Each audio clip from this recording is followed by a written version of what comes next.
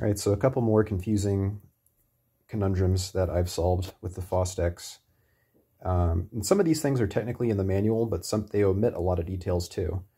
Um, a lot of really important ones.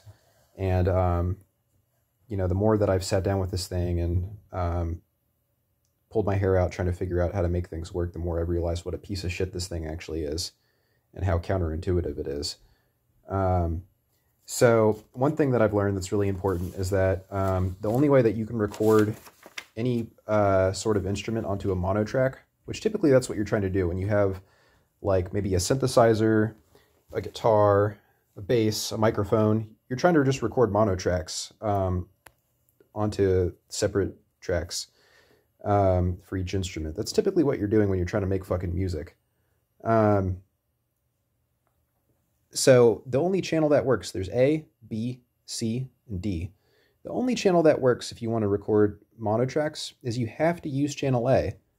I'm, I'm serious. They make you do that. So what you have to do is right now I have, um, there's another rule too, that if you have anything plugged into these quarter inch jacks, um, it takes priority over what's plugged into the XLR jack. So if I have something plugged into this quarter inch jack here, which is my synthesizer, um, so let's arm it for recording, and you can see that when I'm playing the keys, I'm getting a signal here, but now I have my microphone plugged in too, into the XLR. Let's tap it. No signal. So if I unplug this XLR and I turn the trim knob over to mic, we get a signal. So that's really fucking stupid if you ask me. Now, you you might say, well, what if I want multiple instruments plugged into this thing so I don't have to keep unplugging things and uh, and have things just set up for me to record? Well, what you have to do if you want to have your mic recorded is you have to record in stereo. And in order to record in stereo, the only input that works is input B. C and D don't work for some reason. So that's another lie from the manual. Um, channel B or input B is the only channel that works if you want to record an external source like with an XLR cable, like a microphone, into stereo. And you have to record in stereo because you're not allowed to use input A if something's already plugged into input A. So what you would do in that case, another another thing that I learned is that, well, you might say, oh, well, the easiest solution is if, if you have to record in stereo is to select either um, channel 5 slash 6 or channel 7 slash 8. Nope, doesn't work. I'll prove it to you. Let's look at the meters. Oh, okay, well, I guess it does work. But let's see if I'm getting input in my left earphone. Yeah, so it doesn't work, and I'll tell you why. So I'm getting um, only a signal in my right headphone and not my left headphone. Um, and there's no fucking pan knob for channel 5 slash 6 or 7 slash 8, and I guess that's because they're technically supposed to be stereo tracks. But, I mean, this is a big problem because there's nothing, all I have is an XLR cable plugged from my microphone into the machine. So there's no reason why it should just pan right. That doesn't make any sense because um, there's nothing in there setting that pan if I just have a mono cable going in here. Um, so what you have to do, since you're not allowed to use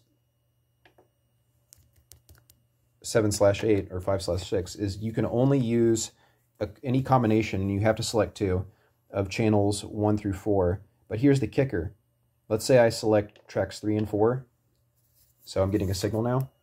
Now I'm getting it in both headphones. It's centered. It's at unison. But here's the problem, is if you look, only track 4 is getting a signal. So that means that even though I have it in unison and I have two of these tracks selected, that means I have to record onto track 3 and track 4, but track 4 is the only track that's going to have a balanced, centered, unison microphone signal. So it's not like, and if I were to, it's not like there's, you know, track 3 and 4 both panned center or both panned left or right, depending on how I select my pan knobs. So that's fucking retarded. I don't know why that, that is, but that's, I guess, a design flaw.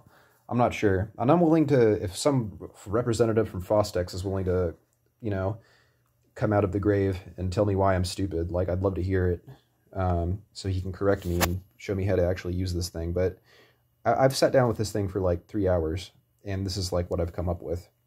Um, I'll show you. If I plug this microphone input into channel C or channel D over here, watch.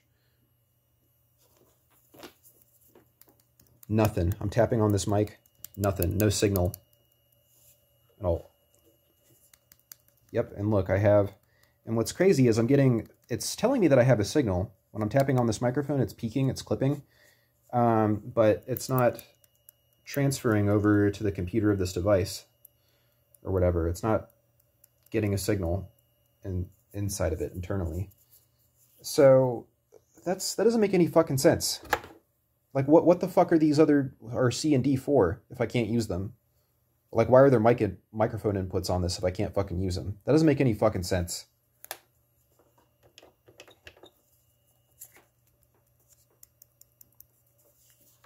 Let's see if 7 and 8 work if I use channel C slash D. Let me just do that last thing before I leave you guys. Okay, so for whatever reason... Oh, nope, nothing. Yep, nothing. Yep, so if you want, if you're forced to record in stereo because this channel A is occupied and you don't want to like unplug what you already have plugged into channel A to record in mono, unfortunately, channel B is the only channel strip that works and you have to select two recording channels and when you do that, only one of them actually has a signal that's centered. And you can pan that left and right, like it's a mono signal that you can pan left and right, but I thought the whole point of recording in stereo, which you're forced to do in this scenario, is that you're recording in stereo, where you're recording on two different um, channels. So it really defeats the purpose anyway. That means I'm recording dead air on one channel and recording a mono signal on another, even though I'm supposed to record in stereo. This is fucking retarded.